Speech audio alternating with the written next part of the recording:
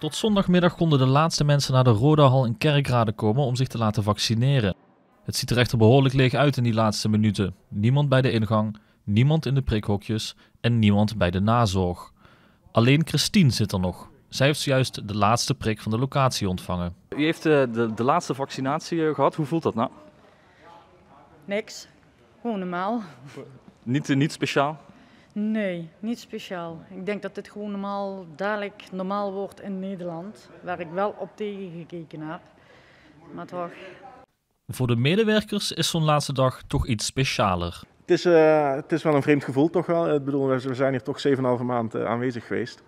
Eh, maar in die tijd hebben toch 240.000 mensen, ruim 240.000 mensen weten te prikken.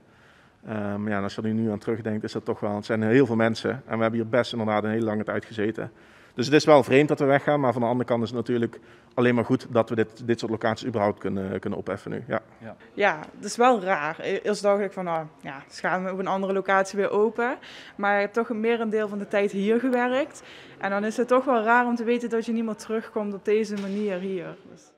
En ondanks dat in de Rodahal zo'n een derde van de prikken in Zuid-Limburg gezet zijn, moeten er toch nog een paar locaties open blijven. We hebben meerdere pop-up locaties. Eh, dus we gaan nu bijvoorbeeld komende woensdag gaan we open ehm, aan de achterkant van het GGD-gebouw. Dus dat is de Pater Beatenstraat nummer 1. Eh, daar kunnen mensen ook gewoon van woensdag tot en met zondag binnenlopen voor een prik. Ehm, en we gaan die tijd, of we gaan daar nu even een paar weken eh, met die locatie open, totdat we zo meteen een nieuwe locatie open hebben. En dat zal ook richting, richting Hele Noord zijn. Dus daar, gaan, daar krijgen we dan een nieuwe. En Maastricht en Geleen blijven ook. Ja. Christine, die zondag haar eerste prik ontving, is er redelijk laat bij. Waarom eigenlijk?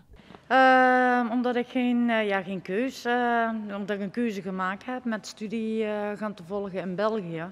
Ja, en dan moet je de grens over. Dus eh, dat is een makkelijke keus gemaakt, want dat is een droom van tien jaar. En die laat ik me niet wegnemen. En waarom? Natuurlijk. Ehm, twijfels qua van, ja, ik denk dat het meer met de media te maken heb gehad.